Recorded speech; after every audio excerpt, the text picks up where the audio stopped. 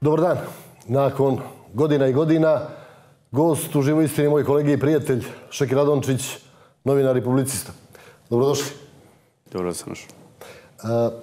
U petak ujutro održano je posljednje ročište u jednom sudskom sporu, vjerovatno medijski najinteresantnijem nakon ovog za pokušaj državnog udara za izbore 2016. godine. Dakle, e, posrijedi je spor u kome su tužiteljke dvije novinarke monitora. Tužena je pobjeda, ne nova pobjeda, nego pobjeda. A zbog serijala tekstova koji ste kao koautor napisali sa Markom Vešovićem. Prije svega, e, u nekoliko rečenica, ako je to moguće šta je predmet spora i otkud vi kao koautor, a u statusu svjedoka? Suština priče je da je zloupotrebljavajući crnogorsko sustvo Milka Tadić i Milena Perović da su tužile pobjedu i tadašnjeg glavnog urednika Kusovca zbog naše knjige Marka Vešovića i moje, Miško Keseđi i njegove bize esej o montenegrinskom zlu. U stvari, Feltonu, seriji tekstova napisanih i objavljenih tamo na osnovu te knjige. Ta knjiga je pisana pred čitovcima pobjede. Dakle, e, sedmično je objavljivan tekst e, Marka Vešovića, dijelimično i često potpisan e, zajedno. I suština je priče da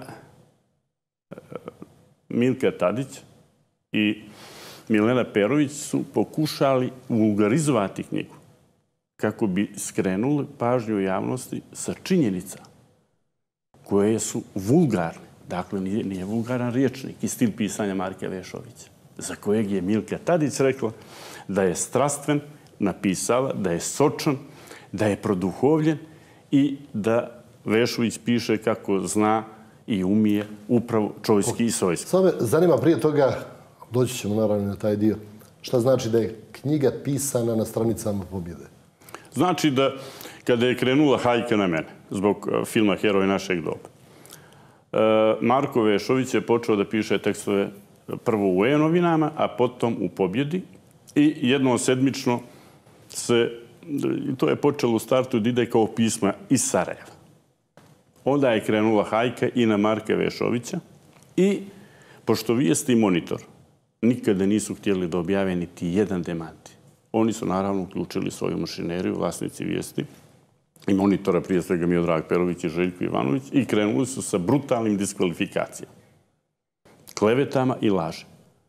I onda se jednostavno odgovaralo na te njihove klevete u pobjedi i tako je e, u startu je bila ideja da se ti e, tekstovi svi objave u jednoj knjizi i to sam ja na suđenju dokazao. Na kraju, to se na kraju desilo? To se na kraju desilo. Izašla je knjiga Miško Kesiđe i njegove bizu. Odmah je prošlo 4000 primjeraka i nakon dva mjeseca je objavljeno i drugo izdanje. I to je bio povod da u stvari prvo su pokušali da zabrane knjigu.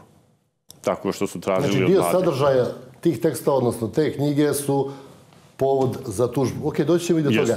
Samo prije toga zanima uh, još jedna stvar. Kakva je bila atmosfera u petak ujutro u velikoj sudnici? Po onome što smo mogli da vidimo u medijima, bitno drugačija od predposlednjeg ročišta, kad je ispred sudnice, u hodniku i u samoj sudnici bilo onako prilično zanimljivo, da ne kažem napeto. Pa to je mene posjetilo ovako, pošto se bavim filmom e, na Felinijeve filmom prethodno ročište se održalo u sudnici kancelari oko 20 kvadrata gdje je došla kompletna ekipa vijesti monitora vlasnici Miodrag Perović, Željko Ivanović, glavni urednici, novinari i gdje se jednostavno nije moglo disati. I ja sam, mm, kada sam počeo da iznosim činjenice, odnosno dokaze šta su objavljivali monitori vijesti, o nama. onda su oni, odnosno Miodrag Perović je počeo da dobacuje i sudija je, odnosno moj advokat Nikola, ne moj advokat, jer sam ja svjedok, nego advokat pobjede, Nikola, pobjede, Martinović. Nikola Martinović je tražio da se prekine suđenje i e, prekinulo se suđenje. Na tom suđenju, dok je trajalo, e, oni su tražili da sljedeće ročište bude u velikoj sali osnovnog suda. I danas smo bili u velikoj sali osnovnog suda gdje ima jedno stotinjak mjesta. Ovo danas zato što emisiju tradicionalno snimamo pet Jeste. popodnika. Ovaj, I pusto. Nigdje nikoga. Čak nisu došle ni Milka Tadić ni Milena Perović. Samo se pojavio njihov advokat i to je stvarno izgledalo ko pustinja. I ja sam rekao, još tada, drago mi je da sam na prvom ročištu uspio da pokupim, odnosno da vedem u sudnicu medijsku mafiju u Crnoj Gori. Ja isto mi je drago što je medijska mafija pobjegla iz sudnice, jer su shvatili da njihove medijske manipulacije neće proći e, e, kako su mislili. Kako je sudija reagovao prošli put na te provokacije, dobacivanja? Pa sudija se nije baš najbolje snašao. Neću da kažem da se uplašio, ali nije se najbolje snašao. Ovaj, moram reći da, znate, kad sretnete, što je meni rekao poslije jedan moj prijatelj, kad sretneš te ljude, da ih sretneš na ulici, pa bi im se sklonio s puta. Jer tako su oni strahovladnu medijsku napravili u Crnoj Gori, a ne u sudnici. Dakle, nije lako sudi gledati te ljude i pogotovo nije mu bilo lako kada su oni počeli da dobacuju. Kada su oni počeli da vrijeđaju. Recimo, kad se u sudnici pojavi neki Esad Kočan, glavni urednik monitora, sa slamenim šaširom. To je stvarno scena sa Felinije. I onda je bilo tako raz, ogromna temperatura u sudnici da je on mene nakon 15 minuta kad je skinuo taj šešir posjetio na one kostce koje kad ubije sunce skinu šešir. U svakom slučaju, sudija izgleda tu medijsku infrastrukturu koju raspolažu doživljava i kao veliku batinu. Pa nije Kako lako. treba voditi računa. Nije, nije lako i ja razumijem te ljude. Ja razumijem te ljude jer e, sve sudije koje su sudili e, ljudima iz vijesti iz monitora, recimo Potužbana, e, Cana, Subotića, ne znam, svih njih, Željke Ivanovića, Milku Tadićevo, oni su bili brutalno šikanirani, medijski šikanirani, baš kao i tuživac. I to nije lako. To nije lako i danas su oni pobjegli sa, sa tog suđenja. Ali su uspjeli u jednoj namjeri. Da sudija meni ne dozvoli danas da predočim sve silne dokaze, uvrede, klevete koje su direktno Milka Tadić i Milena Perović pisale o Marku Vešoviću i Šekije Koliko sam ja razumio, uh, vaša namjera upravo to, da pokažete kako tuženi imaju dvostruke estetske i profesionalne standarde. Jedni važe za ono što se objavi u medijima koje oni uređuju, u glasilima koje oni uređuju, a drugi u glasilima koja ne uređuju. E, meni je prije svega stalo da dokažem istinu. Da se ne radi o nikakvoj vulgarnom, vulgarnoj knjizi i knjizi punoj uvreda, nego da se radi o knjizi punoj činjenica koje govore o medijskoj mafiji u Crnoj Gori, koje govore o tome kako medijski tajkuni E, otimaju akcije od svojih prijatelja, kako medijski tajkuni špekulišu na berzi, kako reketiraju, kako e, medijski strijeljaju, kako u svojim ormarima imaju leševe poput Mladena Brajovića ili Jaukovića, Božidara, policajca koji su izvršili samoubistvo nakon tih medijskih hajki, koji krše zakon, koji e, vode dupla knjigovodstva. I da bi se s toga težišta bacilo, težište na takozvano vulgarno pisanje, ja sam prihvatio i tu utakmicu, i tu igru, i što sam uradio.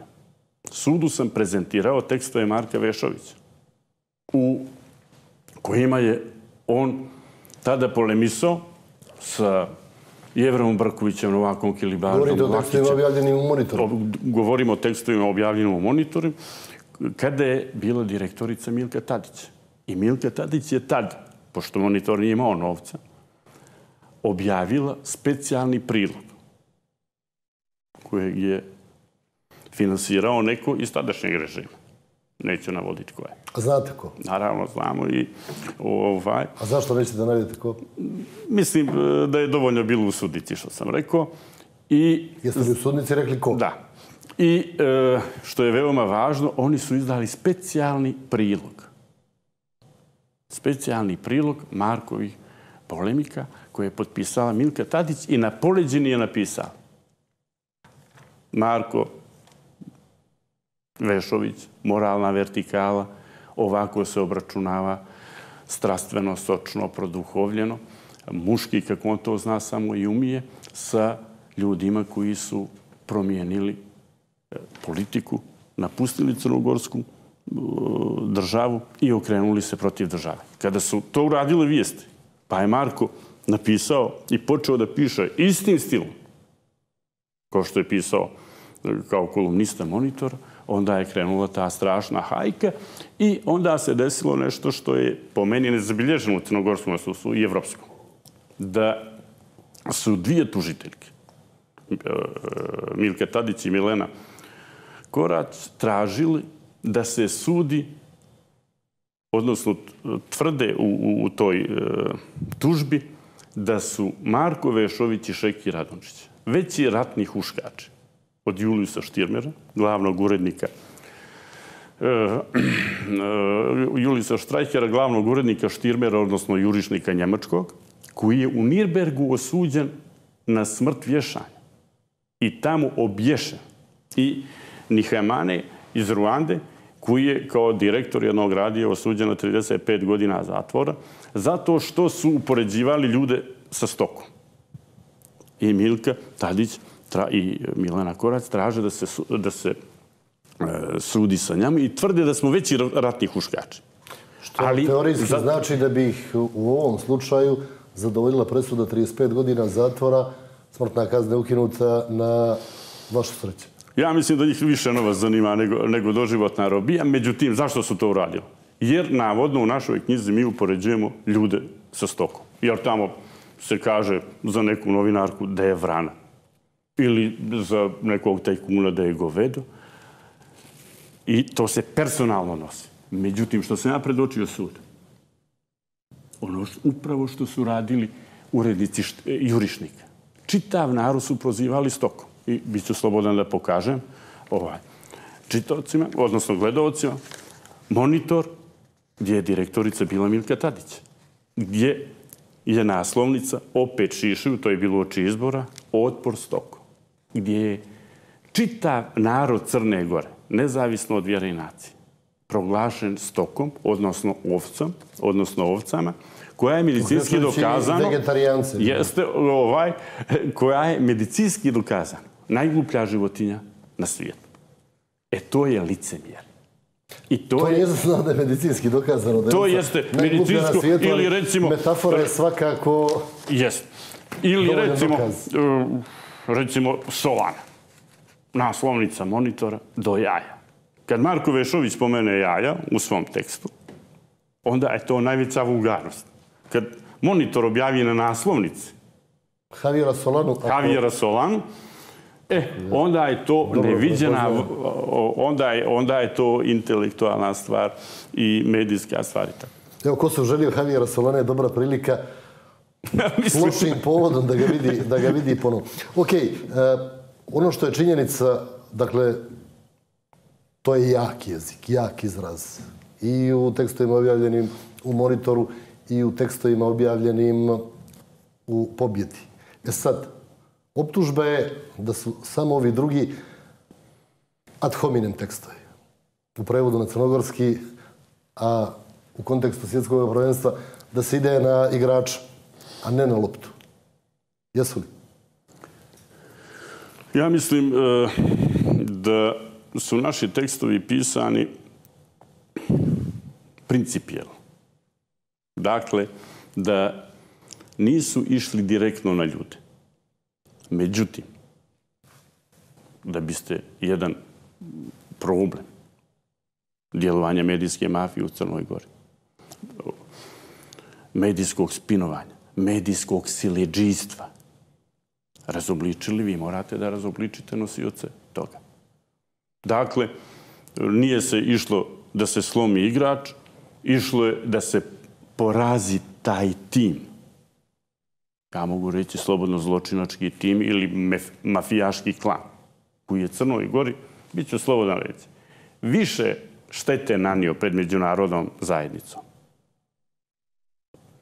Nego, ne znam, ne bavim se crnom hronikom, recimo ovi klan škaljaraca ili kavačan ili barski ili tako dalje.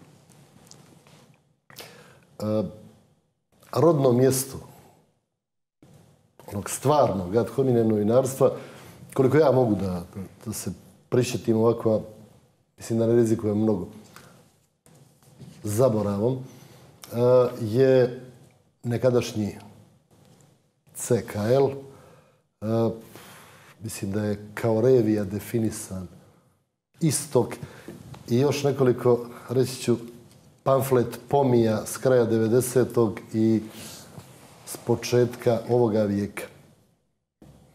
Uglavnom, niskotiražnih, za neke se možda i ne može reći da su imali mali uticaj, naročito na one o kojima su pisali. E, nijedan, nijedno od tih glasila srećom odavno ne postoji, ali ta vrsta novinarstva čini mi se, ili tačnije, siguran sam, ali me zanima kako vi to vidite, nije umrla sa rodonačelnicima na crnogorskoj medijskoj sceni?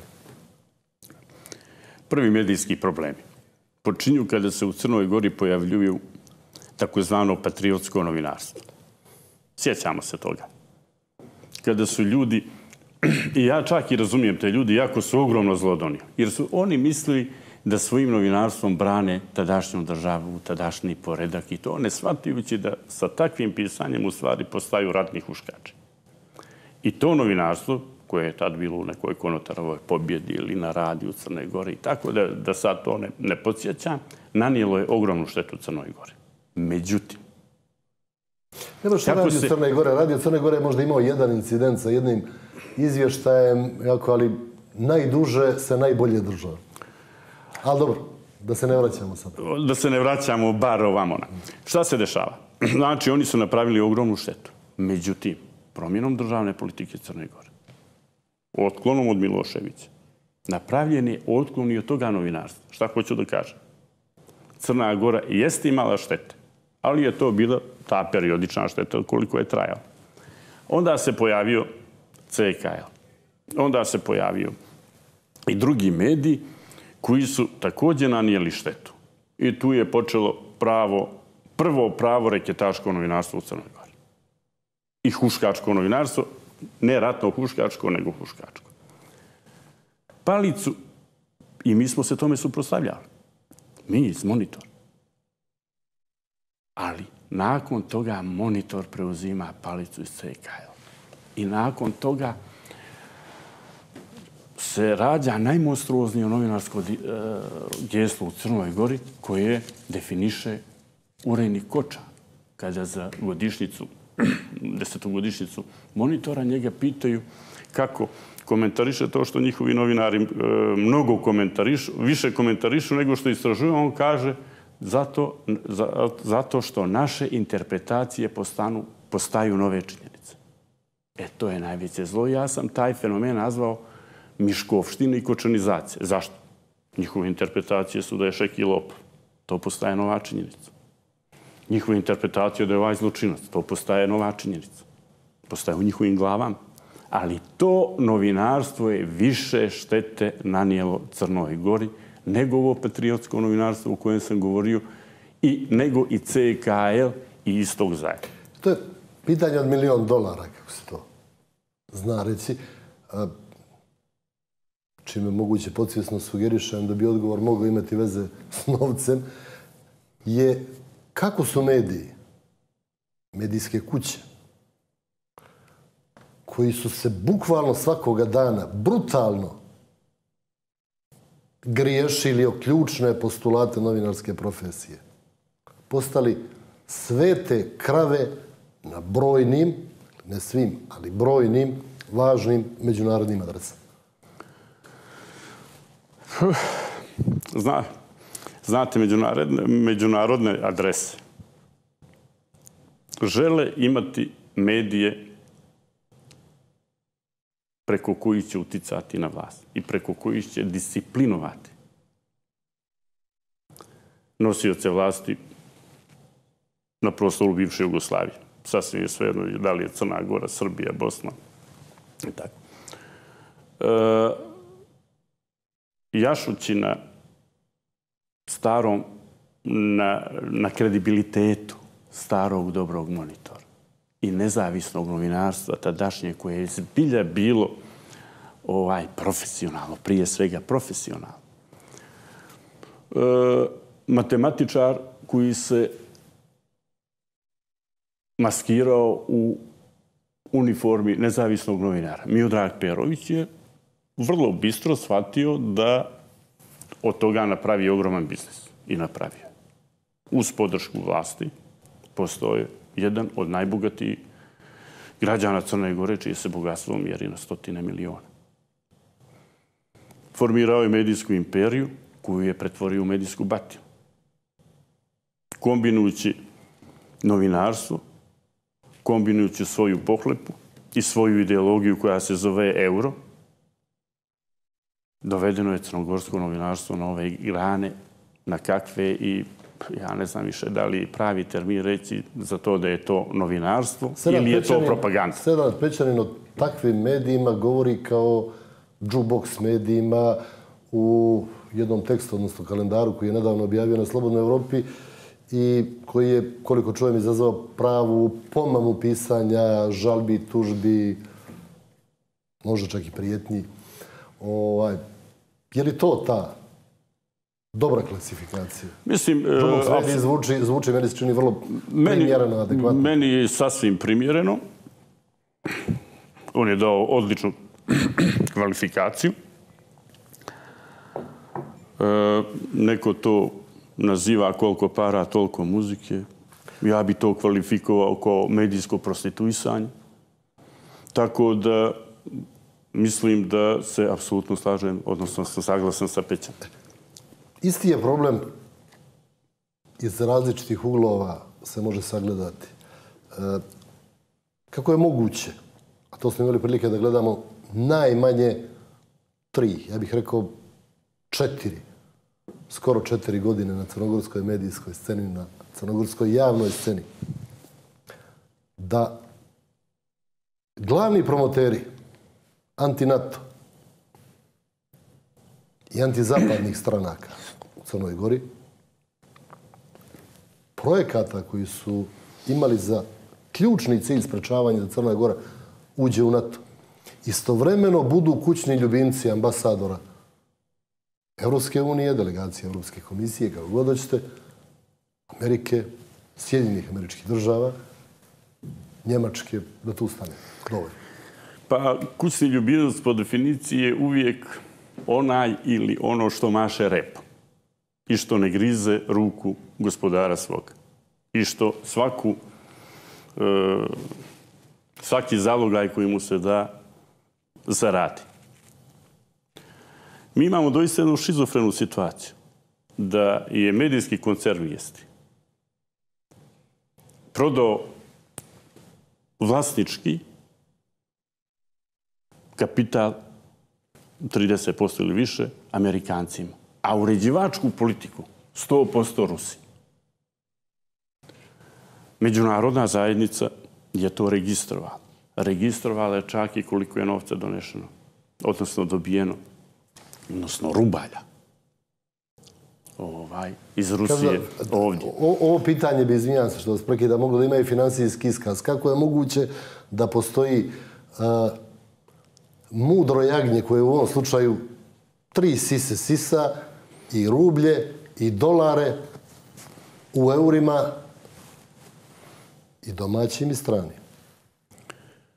Pa ne znam da li je to mudro jagnje ili je to bolesna pohlepa ili je to neka vrsta izdaje ili je to već neka medicinska kategorija, ali činjenica da je to prisutno ovdje. Činjenica ili da možda ljudi... prosto stvar izbora? Ili, stvar izbora svakako. Stvar izbora svakako, jer e, mislim da se za to jagnje koje tri sise, sisa, malo ko nadmeće da postane takvo. I da je to jedan od razloga da ta ekipa u, u stvari e, koristi te benefite. Mitija Drobnić je jednom prilikom neoprezno ili iskreno, ja bih zaokružio prije ova kazao, nama su potrebni mediji koji će objaviti ono što mi ne možemo zvanično da saopštimo. To mi, neki centri iz Brisela. I kako s Mitijom, tako izgleda do dana današnje. Kako s Fileom, tako do dana današnje. Nažalost, e, nažalost, e, Crna Gora je mala država. Teritorijalno to je predgrađe Njujorka, Pariza, da ne nabrajam dalje. Ali se tu prelami veliki interes. I Crna Gora je na vjetrometri. Imamo ovamo isto Rusiju, koja djeluje kako djeluje brutalno, koja ima svoje medije, koja ima svoje partije, koja ima svoj utica i imamo ovamo drugu stranu. Iz e, rascijepane evropske zajednice, centri moći koji žele od Crne Gore napraviti neku svoju medijsku, pa da kažem, parohiju, nešto tako.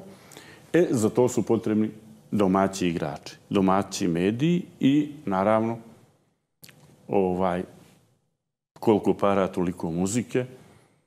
Oni ne, u prvoj fazi ne prave svoje medije, nego koriste postojeće medije kao svoju infrastrukturu, odnosno kao svoju palicu. Ali je zanimljivo da ni Rusi nijesu pravili svoje medije, za razliku, recimo, od bratske i susjedne Srbije, jer su očigledno i bez te investicije jeftinije, brže mogli da završe da njihove poruke stižu do građana Crne Gore? Rusi se vrlo praktično ponašaju. Prvo, vrlo je teško izgraditi medij. I treba jako dugo i, i dugi inovat. Lakše je to završiti pet minuta, sjesti sa medijskim tajkunom, koji 100% kontroliše uređivačku politiku svog lista, koji ima svoje vojnike, medijske vojnike, kako je govorio Miodrag Perović za svoje novinare, i pitat koliko to košta. E Završena priča. I da mi završimo ovaj prvi dio još jednim pitanjem, odnosno e, ponudom za komentar. Znači, kao da su u Briselu e, neke stvari konačno prihvataju da sagledaju. Kao da je stavljena tačka na zatvaranje oči pred eh, očiglednim stvarima. Dakle, nedavno je objavljeno istraživanje antidota koje je naručio NATO, u kome se vrlo otvoreno govori i poimenice nabrajaju glasila u Crnoj Gori, koja su završavala prethodnih godina onaj posao koji je recimo u Srbiji radio Sputnik i cijela mreža medija koje su osnovali Rusi, plus domaći mediji uključeni u tu vrstu propagande. U, u 29. čini se, dakle, prošle sedmice, u Briselu, Federiki Mogherini dati je nalog da do kraja decembra osmisli plan, slobodno prepričavam, ali to je mhm. suština, suprotstavljanja ruskoj propagandi u zemljama Zapadnog Balkana, prije svega ili ono što je nama najinteresantnije. Dakle, dva vrlo jaka signala, što bi se reklo od ozgo, ne znam, ja ne primjećujem da su stigli do adresa na terenu, barem ne u Crnoj Gori. Pa mene jako zanima kakav će biti taj izvještaj. Baš sam radosno. Ovaj, I hoće li obuhvatiti medijski koncert vijesti i druge medije koji su primili novac od Rusa, a to je javna tajna u Crnoj Gori. I to je posao prije svega za crnogorsko pravosuđe. Da mi budemo načisto sa tim. Što se tiče ovoga drugoga dijela, ja mislim da će tu međunarodna zajednica opet zaigrati na stare igrače, koji će samo ovoga puta obući drugi dres. Skinut će ruski i obući će dres Evropske unije i opet profitirati svega toga. Najčešće je izgledalo kao da ista ekipa igra u nekoliko dresova, ali ovaj, Čim je ideologija novac i čim je ideologija ko da više, ja mislim da i rezultat je isti. i bez ove igre u više dresa odjednom ima više nego dovoljno signala da je Crna Gora zemlja čuda, tako da nam još jedan nije neophodan. Idemo na prvi blok reklama, pa nastavljamo intervju. Ponovno smo tu, podsjetit ću gost u živoj istini, Šeki Radončić, novinar, publicista, između ostalog čovjek koji je napisao stotine, možda bih mogao reći i više, ali evo, i stotine je dovoljno, istraživačkih tekstova, tri dokumentarna filma nagrađivana širom svijeta koji su bili klasično istraživačko novinarstvo.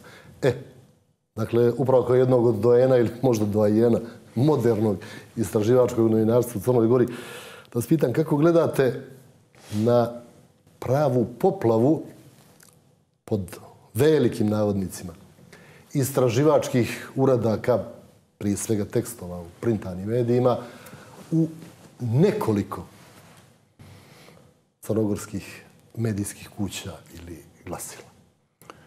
Pa ja prvo moram reći da, nažalost, u Crnoj Gori ne postoji više pravog istraživačkog novinarstva. Više je razloga za to. Prvo, istraživačko novinarstvo je jako skupo. Istraživač ti jednu temu e, treba nekada i pola godine. godine. Ja sam, što zna za moju knjigu Kobno slobodu, deset godina istraživao deportaciji ili za film 15 godina ukupno i tako. Znači, to je prvo najskuplje novinarstvo. Druga stvar je e, što danas se istraživačkim novinarstvom naziva čak i crna hronika. Što nema veze crna hronika je crna hronika, istraživačko novinarstvo je novinarstvo. I treće, ne bih stvarno se pogrešno shvatio. Ali ja ne znam jednog pravog istraživačkog novinara trenutno u Crnoj Gori. Oni koji znaju šta je istraživačko novinarstvo, nažalost, tih izgleda u Crnoj Gori ima malo ili nemaju želju da javno progovore o tome, ali odlično znaju da ovo što se kod nas prodaje kao istraživačko novinarstvo u ozbiljnom novinarskom svijetu za ovu novinarstvo poštanskog sandučeta. Ono što vam ubaci jedna zainteresovana strana da objavite protiv konkurencijske, drugi. E, to kod nas prolazi kao vrhunsko istraživačko novinarstvo. I što je najgore, čak i to kad se odradi, ne, ne ispoštuje se elementarno novinarsko pravilo. Da se čuje druga strana. Nego se ide sa kaćenjem. Ne bi bilo mnogo istraživačko, ali bi bar bilo novinarstvo. Ovako nije ali bi, bar bi bilo novinarstvo. Eto, čuje se druga strana. Nema, nema ni toga. Ma, I mene stvarno ovaj, jednostavno me brine da je situacija sa istraživačkim novinarstvom u Crnoj Gori i ne samo u Crnoj Gori. Nažalost, i u regionu je slična situacija. Pod istraživačkim novinarstvom se svodi nešto što prvo nema veze sa novinarstvom, a pogotovo nema veze sa istraživačkim Ali novinarstvom. Ali se i za tu mega podvalu odvaja to vidimo ogroman novac. Pa mi vidimo da u Crnoj Gori je osnovan CIN, Centar istraživačkog novinarstva. Vlasnici Miodrag Perović, Željko Ivanović, Milka Tadić. Ja, oni su se bavili u životu medijskim novinarstvom koliko sam se ja bavio atomskom fizikom. I ogroman novac je dobijen, kako sam pročitao na anteni izvještaj koliko je e, Evropska unija uložila novca. Mi smo samo precizno sabrali sume na koje nas je vrlo neljubazno uputila kontakt osoba iz delegacije Europske komisije. Ali je to pravo istraživanje. Jer smo mi recimo došli do podatka, sad konkretno govorimo o istraživačkom novinarstvu, da je CIN. Znači jedna lijeva novinarska istraživačka, para e, istraživačka, e, ovaj, ne znam kako da nazovem, organizacija, dobilo 700 i kusur hiljada eura za... Nešto malo manje, čini mi se, ali u svakom slučaju... Da je dobila 100 eura. To je glupost. Pošto smo dugo bili u zajedničkoj redakciji, razumijet ćete, ne moraju ostali da razumiju, ali ako uložite toliki novac u nekoga ko ne može da istraži koliko je Danilov grad udaljen od Podgorice, ne šalim se, onda ozbiljno morate da posumljate šta su motivi. Đavo je ponio to istraživačko novinarstvo i ja ne znam, mislim, zašto ti ljudi uzimaju novac. Mene baš briga. Ne, ne, ne, ne, zašto uzimaju, to mogu da razumijem.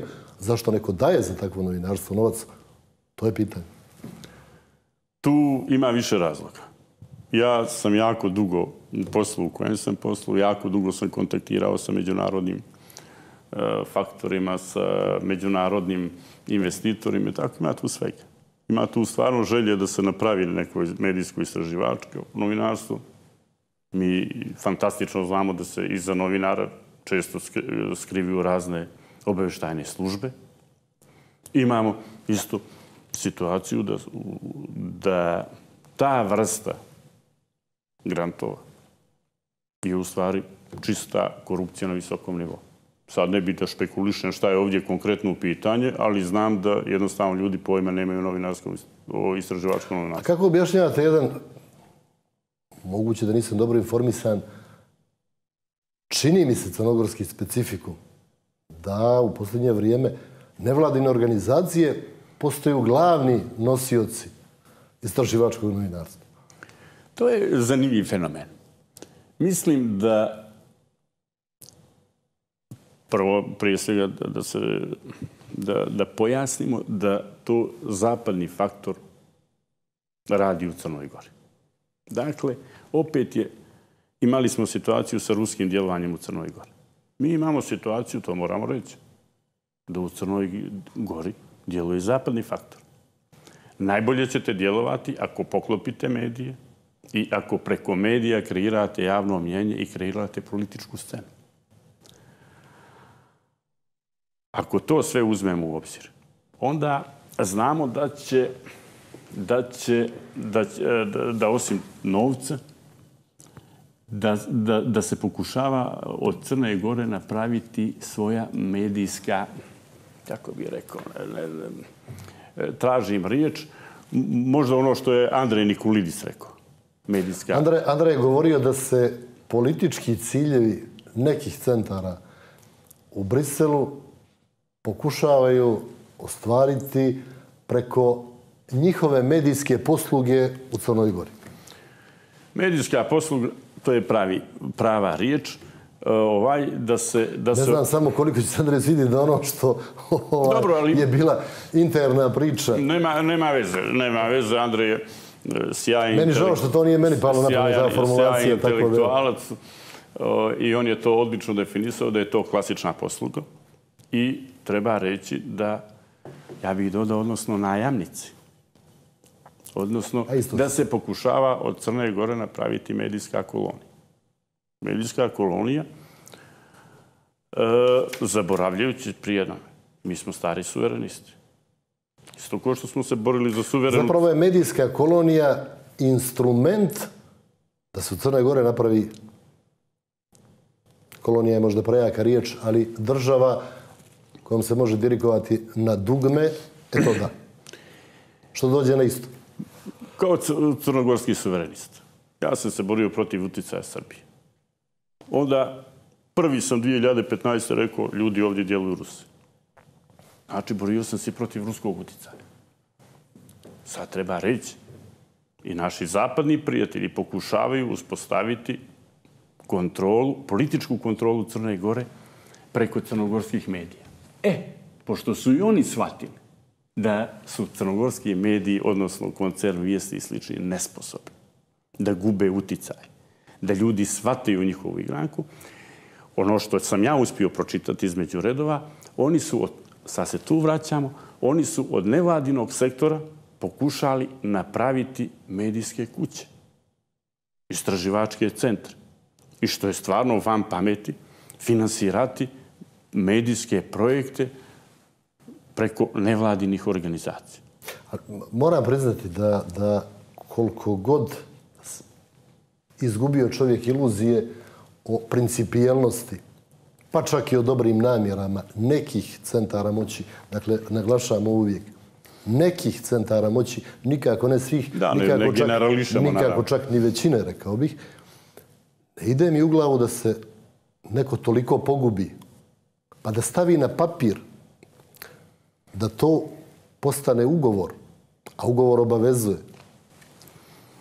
Jedan model ponašanja u kome nevladina organizacija hjerarhijski bude iznad medijske kuće i novinara i ugovorno pravo dobije da odlučuje o sadržajima nekih emisija. To najavno servisa.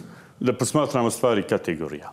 Meni se dopalo kako je, naglašavam, država Crna Gora reagovala u tom slučaju. Lupilo je šakomostu. Rekla, pa polako, ne možete vi preko nevladinog sektora, od nevladinog sektora praviti medije, paramedije. I desilo se što se desilo. I neka se desilo i to je odgovor ozbiljne države. Crna Gora naravno nije država koja... Ne postoji suverena država na svijetu u, u bukvalnom smislu. Ali je dobro da je Crna Gora stavila do znanja polako. Možete do jedne crte, dalje od toga ne može. Ne znam da li mi je promaklo, moguće, ali nisam primijetio da se recimo tim povodom oglasila Maja Kocijančić, koja ne bi trebalo makar da ima problema sa prevodom. A ja možda naivno vjerujem da ogroman dio problema s crnogorskim medijima potiče između ostalog i u činjenici da crnogorski jezik nije toliko popularan i da ga visoki inostrani zvaničnici ne znaju, pa onda ne mogu izvorno konzumirati sadržaje koje im nude svakoga dana crnogorski mediji. Da mogu, poprilično sam siguran, da bi mnoge stvari izgledale drugačije. Ali sad je ovako kako je. Dakle, apsolutno, apsolutno sam saglasan. Maja Muk. Sam saglasan. Ok, uh, kad smo kod toga, bez obzira, dakle, na, na, na sve te očigledne i teško shvatljive nelogičnosti, može li se govoriti o, na koncu konca, ipak za te same centre moći, kontraproduktivnom pa dakle, sljedstveno i prilično nepametnom pocijenjivanju nivoa zrelosti crnogorskog javnog mnjenja? Pa, uh, mediji najveću grešku pravi kad pocijenjuju javno mnjenje. Zašto je propao monitor? Zašto je, e, su vijesti i moralno i tržišno posrnu? Zato što pocenjuju svoje čitavace i gledavace. Jer gledalac svata manipulacija. Istu grešku pravi i taj takozvani međunarodni faktor. Oni misle s pozicije sile mi ćemo nametnuti to građanima Crnoj Gore. Neće. Jer građani Crnoj Gore prepoznaju manipulaciju. A to je neki uzak krug ljudi. Prijem, večera, ručak, žurka. I ljudi misle da je sva Crna Gora taj mali krug. Tu je, tu je malo i do crnogorske e, države, odnosno vlade ili ne znam koga već ne. Što ljudi iz medija,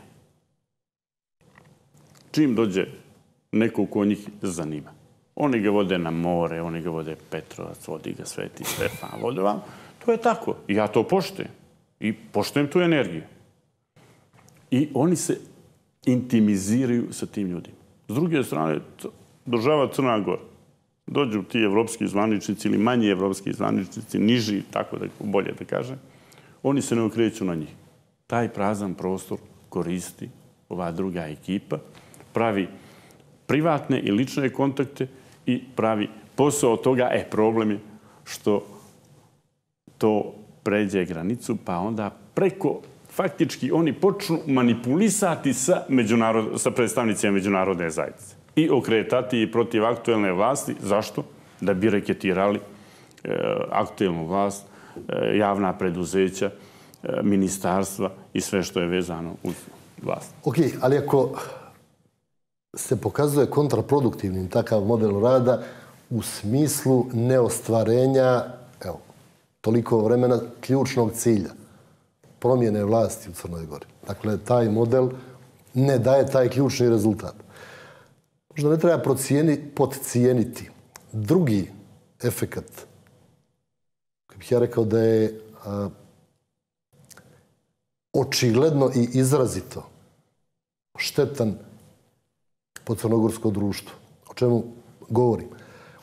A, bar dio crnogorskog javnog mjenja, čini mi se, mora biti barem zbunjen, ako ne i dezorijentisan, činjenicom da su u Crnoj Gori glasila medijske kuće koje ne drže do vjerodostojnosti, do tačne istinite informacije, koji ne drže do poštovanja ljudskog dostojanstva, poštovanja pretpostavke nevinosti i tako dalje i tako dalje. Dakle, sve elementarni principi profesionalnog novinarstva. Favoriti nekoga u Briselu, a Brisel je cilj prema kome mi strijemimo. Čovjek može apsolutno legitimno da zaključi, pa čekaj, ovi lažu, reketiraju, pljuju, psuju, vrijeđaju, zaista pišu, svaki tekst nije ništa drugo nego najobičnija pljuvačina, ali vidite ovi iz Evrope tapšu njih po ramenima, mora da je to takvo novinarstvo kako bi trebalo da ima. Mi biramo naš put. Mi smo naš put izabrali. Izabrali smo naš put. Da takva poruka ne može mnoge građane Crne Gore da sludi. Saglasan. Ali, međunarodni faktor, bilo da se radi o obaveštajnom sektoru, da se radi o političkom sektoru, sarađuje s onim, govorimo o ovom mediju, ko je spreman da odradi neke poslove, ko je spreman da bude pudlica, ko je spreman da maše repom, ko je spreman, ne znam na sve što. Znači, tu se traže igrači koji će igrati njihovu igru. E sad, sve to pod firmom kritičkog i nezavisnog novinarstva na osnovu kojih se epiteta izdvaja ogroman novac kroz grantove. Govori to da u stvari nema velike razlike među vlastima na ovoj planeti, pa dakle da i u Briselu sticajem okolnosti onima koji su zaduženi za medije nije previše stalo do nezavisnog i profesionalnog novinarstva, nego da nam one svoje, onu svoju kolonijalnu poslugu podvaljuju kao nezavisne kritičke medije samo zato što služe njihovim interesima, a ne javnosti. Suština priče i istok i zapad vodi interes. Ni istok ni zapad ne zanima demokratiju u Crnoj Gori. I istok i zapad zanima da oni kontrolišu vlast, da oni kontrolišu procese, i da oni kontrolišu svoj interes. E, problem nastaje onoga trenutka kad neko iz vlasti kaže ne možete dalje. I ovima s istoka i s ovima zapad. Postoji granica. To se nikad naravno ne kaže ovako direktno na što ja imam pravo kao slobodan čovjek i čovjek koji se ne bavi politikom i državnim poslovima, ali se odradi na drugi način. Blokira se taj projekat, blokira se ovaj projekat i na taj način se vrlo diskretno, ali i direktno kaže ne možete dalje. Ne možete nevladin sektor podvaljivati kao, kao, kao medijske kuće i medijske institucije. Koliko tom statusu nezavisnosti, kritičnosti pogoduju prečesti napadi na novinare tih medija? Napadi na novinare u Crnoj Gori su komercijalizovani. I od napada na novinare u Crnoj Gori je napravljena posebna vrsta biznesa. Izvinite, meni je pucano na majku, na moju kuću i, i, i, i ženu. Na moju kuću je bacana bomba. Ja sam osuđivan zbog suprostavljanja rata. Demoliran automobil. Osuđivana na smrt. Napravljena je komisija za ispitivanje porijekla napada na novinare ni jedan moj slučaj tamo nije ušao. Zašto? Kaže, ispitujemo samo od napada, odnosno ubistva, što je najteži zločin u Crnoj Gori napravljen nad jednim novinarom, Duško Jovanovice, pa nadalje. Ne može. Ako hoćete, vraćajte se ili od suverenosti ili se vratite od e, 1991. Godine. To je pod jedan. Pod dva. E, I ovo suđenje koje je danas bilo je opet komercijalizacija, e, pokušaj komercijalizacije i dobijanje grantova. Sada, što se tiče samih napada na novinare, mi imamo situaciju da je doista odvratno da je pucano na Olju Lakicu, novina Crne hronike u, u Ili da je pretučen Softić ili bilo koji drugi napad. Međutim, e, imamo situaciju, ja pošaljem poruku ovo što ste večeras govorili na televiziji. Seadu Sadiković. Dokazat ćete i ti Pejović ili ćete plaćati ogromno obeštećenje? Mene policija Draška, uh, Raška Konjević, izvinjavam se, ovaj, saslušava u jedan po ponoći napad na nezavisno novinarstvo. Znači, ima stvari koje se koje jesu napadi na novinarstvo i novinarstvo. I jesu napad na, na integritet novinara. Ima slučajeva, a tu su se e, ljudi iz vijesti, vlasnici vijesti iz koncerna vijesti specializovali stvarno da, da se prikažu velikim žrtvama tamo gdje nisu. E, a, zanimljivije mi je druga strana medalje jer je ta očigledna. Pomenuli ste jedan detalj koji je šlagvort za to pitanje, pa da idemo na drugi blok reklama. Kao da je nesposobnost ili činjenica da brojni od tih napada nijesu rasvjetljeni, proizvela neki inferioran odnos kod makar dijela državnih institucija i koje se upravo tako i ponašaju. Inferiorno, do mjere da ponekad zaista izgleda tako. Da im neki mediji daju direktive šta će da rade, oni to poslušno, bukvalno istoga sekunda urade. E, nažalost, to je strah ljudi iz institucija sistema, pogotovo iz pravosuđa, od medije. I ja taj strah ne razumijem. Ne razumijem. Ali on postoji. I mi smo imali situaciju da glavni urednik vijesti od tužilaštva traži da ja budem saslušan.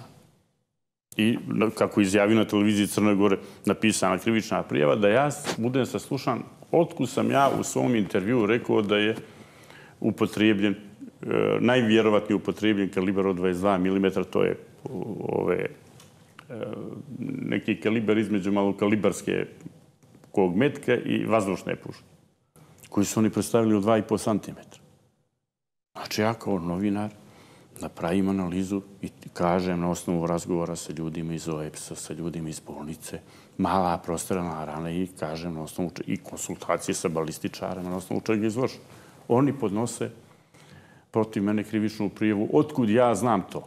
Ali je li bilo pozive na slušanje? Nije mene nisu pozvali, ali su za to pozvali dvije novinarke. I na to sam mislio prije svega. Za jedan razgovor u redakciji kakav mu je bio sadržaj, možemo samo da gatamo, ali je rekla, kazala varijanta bila osnov za saslušanje. Meni to djeluje poprilično nevjerovatno. Da pojasnimo samo gledalcima. E, prijavljene su dvije mlade novinarke e, dnevnih novina, kao da su rekli, e, neka su to ili nešto u tom stilu. I odmah su prijavljene malte ne da su one pokušale da ubiju Olju Lakić. I tužilaštvo je odmah, sad se vraćamo na ono pitanje, odmah saslušalo te dvije novinare. I međunarodnoj javnosti je poslan glas. Evo, crnogorsko tužilaštvo ništa ne radi, evo ove dvije novinarke bi htjeli da ubiju koleginicu, što je odvratno. Što je odvratno, evo Šeki Radončić zna ko je pucao. Otkud ja znam čiji se bavi Olja Lakić u životu i koje njoj mogao da puca. Ili nije mogao da puca s kojom sam se jako solidarizao, kao sa svim novinarima koji su preživjeli takve ili slične stvari. To je posebna dimenzija cijele te priče, stvaranje utiska da se neko iz snafa malo te ne raduje takve situacije. Pa ne može se niko radovati da neko puca u jednoj crnoj gori u, u, u nogu jedne žene. Mislim, to je stvarno odvratno. To, I to je stvar... Ja sam čekao, čak i rekao u jednom intervju. To je bio pucanju u, u Mila Đukanovića Jer je jednostavno trebalo, treba dokazati da su e, novinari u Crnoj Gori progonjeni, novinari, kako oni kažu, kritičari režima. Iako ja baš ne vidim da su kritičari režima, nego su jako dobro sa režimom. Bilo bi zanimljivo jednom napisati knjigu šta sve možeš u Crnoj Gori kad se žrtva, možda neko napiše, mi idemo na drugi, drugi blok reklama i u završnici intervjua.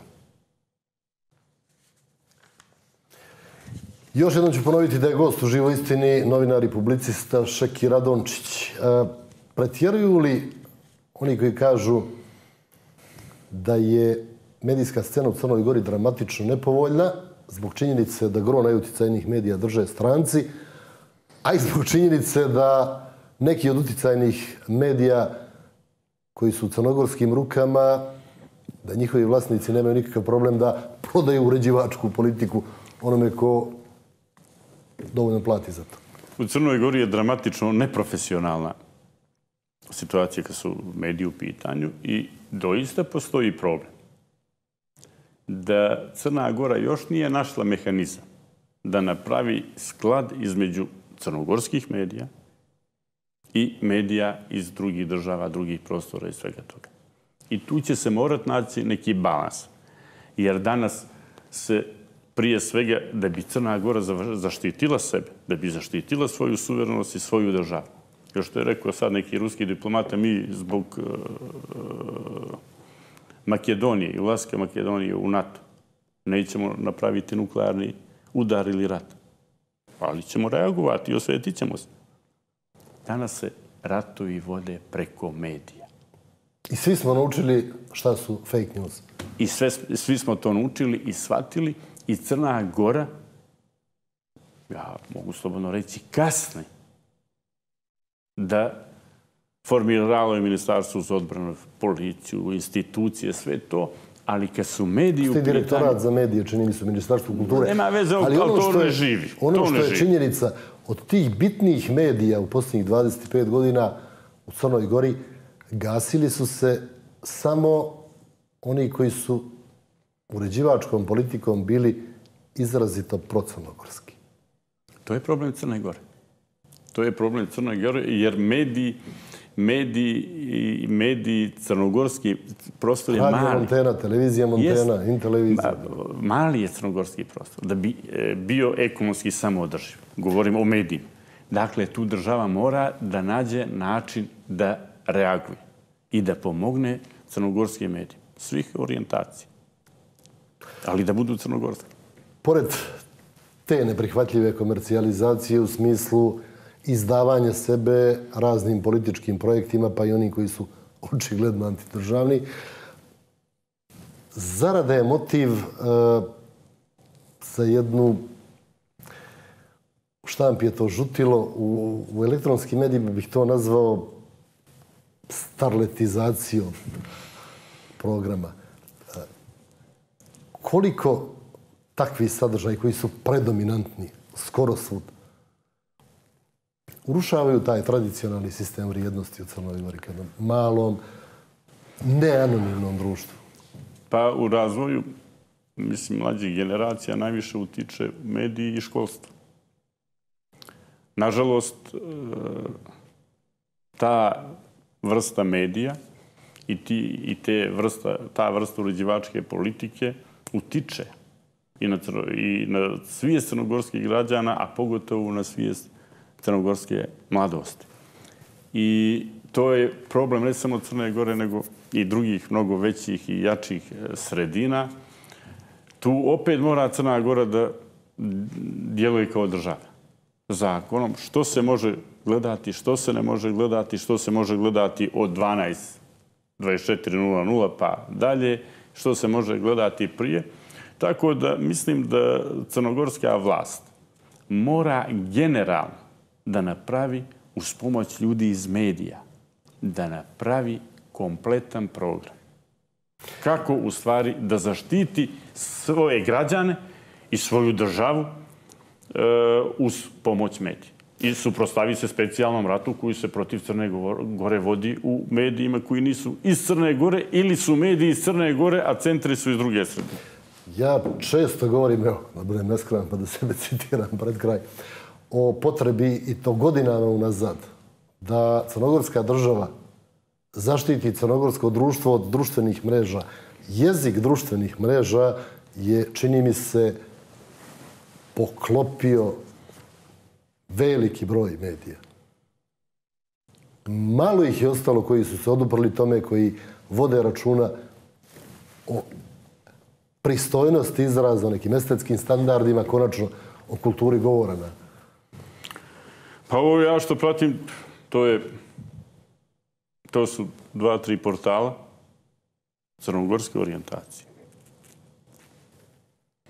Portal Antena M, Analitika i još neki portali, sad ne, ne mogu se svi sjetiti, koji ipak drže ovaj. Ali je problem što je težište i težina upravo na drugoj strani. Tu opet mora se nešto uraditi, mora se nešto mijenjati jednostavno. Čas, onako, čovjek podsjeti Marks, Marksa, da, ka, da ovdje nije još došlo do prelaske kvantiteta u kvalitet. Mislim da što elektronskih, što printanih glasila u Crnoj Gori ih je sad već na stotine, sve da istresete te redakcije, ako sastavite dvije kompletne da valja,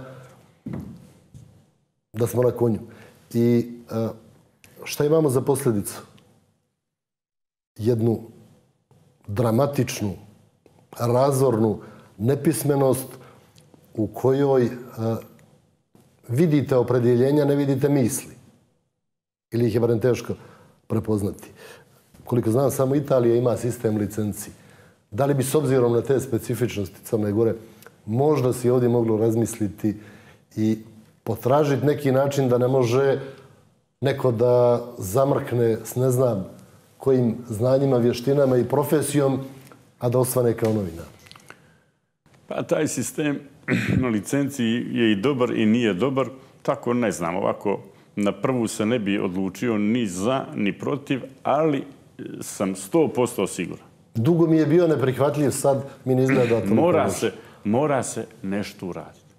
Ko što su licencirani doktori, advokati, e, razne struke, moguće da bi to bio, jako bi se to opet ovdje prikazalo, upravo od ljudi koji e, ruše etiku, struku, ljudi koji nemaju stid, To prikazalo kao napad na nezavisno i slobodno novinarstvo. Ali jednostavno nešto država Crna Gora i svi mi e, iz medija, ljudi koji smo, moramo nešto uraditi da se stvarno napokon opet vratimo struci, da se opet vratimo esnafu, da se opet vratimo etici i da opet na jedan sasvim primjeren način zaštitimo Crnu Goru od vanjskih medijskih i političkih uticaja koji se odrađuju preko medija. Da, jačanje profesionalnih crnogorskih medija, za rad spašavanja mentalnog zdravlja nacije. Veliko hvala što ste bili gost u Veliko hvala što ste bili gost u živostini. Hvala vam. Poštovani gledalci, vam hvala na pažnji. Prijatan nastavak dana vam želim. E, već mogu da vam kažem da će naredne e, neđelje biti malo drugačiji termini žive istine. Dakle, u petak je 13. jul i 10 godina od osvajanja čuvenog crnodorskog zlata u Malagi to onaj događaj kad su naši vaterpolisti donijeli prvu medalju i to najsjajniju sa nekog velikog takmičenja. Tim povodom gost će biti Nikola Janović, ministar sporta. Mislim da ćemo biti u prilici da prikažemo vjerovatno čak i premijerno dokumentarac koji je urađen povodom osvajanja te medalje, a bit će to prilike i da se dotaknemo nekih zanimljivih aktualnih stvari i ta emisija bit će premijerno na programu u petak u 19.30, a moći ćete da je vidite i u neđelju u 14. i u terminima reprize, neđelja oko ponoći i poneđenik u 14.00. Eto, to je to. Sad još jednom hvala na pažnji i još jednom prijatan dan.